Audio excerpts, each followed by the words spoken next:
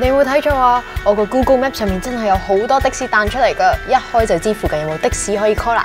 唔知大家有冇留意 Google Map 加多咗个新功能，即时睇到附近有冇的士，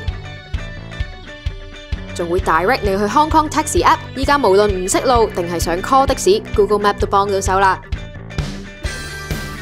嗯，我輸入咗目的地之後呢個地圖即刻 show 咗好多架的士出嚟，佢仲有話呢，一分鐘就有車，又有預計車資添喎，一陣就知佢準唔準。啊，到啦到啦到啦，有啦，有該。我成功上咗車啦！頭先 Google Map 咧就話一分鐘有車，但係實際上咧我係等咗四至五分鐘先至有車嘅，所以大家如果想準確啲預計時間嘅話，都係打電話同司機聯絡最好。喺成功之前，其實有個小插曲，本來只係想近近地去 m a c b o x Google Map 都見到有的士喺附近㗎，但係等咗幾分鐘，都係一個司機都冇，先唯有轉戰去遠啲嘅九龍塘。近接咧，因為咧其實好嘥時間嘅，廿廿零蚊通常都真係要好就先先至接嘅，因為都。雖然 Google Map 呢個功能會為用家帶嚟方便，但係司機表示暫時未覺得因為咁樣而多咗訂單。